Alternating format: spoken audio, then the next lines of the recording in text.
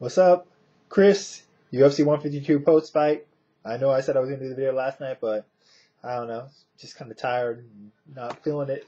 Not that I wasn't feeling it after the event, but I was just tired and a little bit of pain yesterday after I got home last night. But uh, better late than never. Maybe, maybe not. Whatever. Kind of like UFC 152 or Jon Jones title defense. Better late than never, right? Um, pretty good main event, you know. I mean, if nothing else, it definitely went longer than most of us anticipated it would have, or at least most people I I heard or talked to. Um, you know, and not only that, we thought, hey, if Vitor has a chance to win this fight, it's going to be by a knockout, by a in the first round by a punch. And although that wasn't the case, he did almost win this fight in the first round by armbar. I don't know who you were watching the fight with or where. I was watching the sports bar. First off, I will say that I was surprised how many people were there to watch this fight. Um, I thought that the place was just packed because there was an event going on in town, but no, everyone was tuning in this fight, and when it was over, everyone pretty much broke out.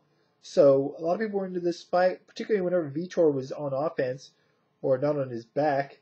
Um, but obviously, most particularly when he had that armbar on, it really looked like he was going to be able to finish that fight. I mean, you got to give it up to Vitor for going for it, but you got to give Jon Jones credit for fighting his way out of it.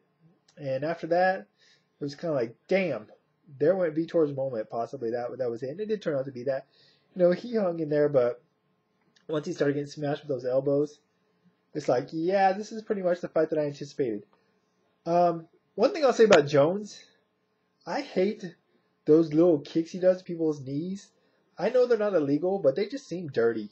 You know, what are you going for there? You're not really going to earn points or to, you know, finish a fight. You just, I don't know what you're going for, but it just doesn't seem seems a little dirty on my part, or in my opinion. But uh, yeah, Vitor just never really let his hands go much. When he did, he never really could land anything. But he just didn't let him go that often. I don't know if he was tired or if he was a little winded after getting beat down from those elbows. But he hung in there. You know, took that body shot. Thought it was going to be over then when he went to the ground after that. But in the end, you kind of knew Jones was just going to was going to stop me sitting there win. Happened in the fourth round. It looked like he was going to finish it for the crucifix, but then he put on that key lock and I tapped him out. But it was a pretty solid fight. You know, it was a good championship fight considering the circumstances and everything that happened. And you know, it'd being a replacement, I think Vitor put up a suitable effort, and Jones once again looked dominant in winning.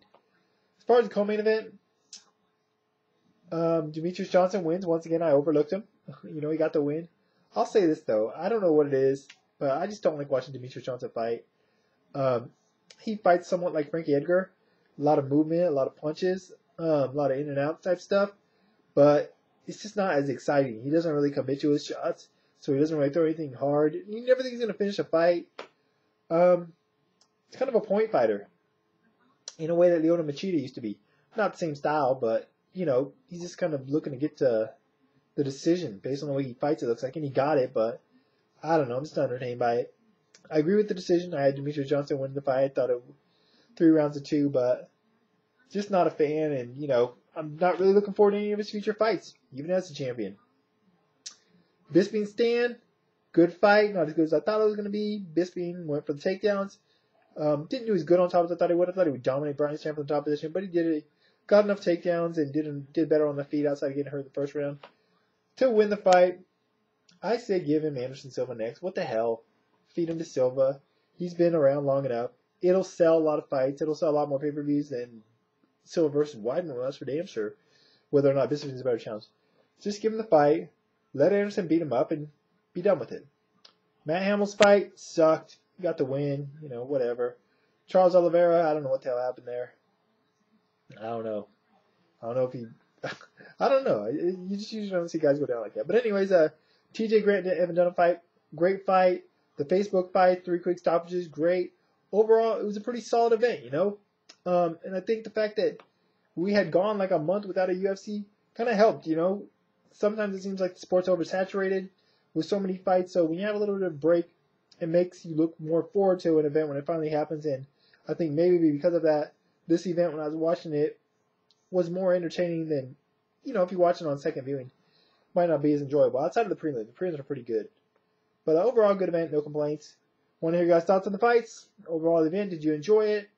Um, you know, would you give Bisping? Would you would you give uh, Bisping a shot at Anderson Silva next? What do you think about Demetrious Johnson, Joseph Benavidez? How'd you score that? And thoughts on Belfort versus Jones? and anything else in general. That's it for now. We're talking this on Science of Violence Radio Show coming up shortly, depending on when you see this. That links to that and everything else Science of Violence related, as well as my Twitter, in the information part of the video as always. Till next time, I'm out.